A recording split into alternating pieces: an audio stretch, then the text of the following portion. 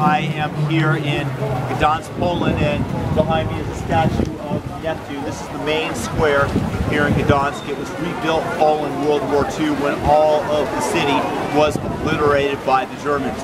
Hard not to be prejudiced against the poor Germans that are born today when you come and you see the atrocities that were committed in the name of race superiority.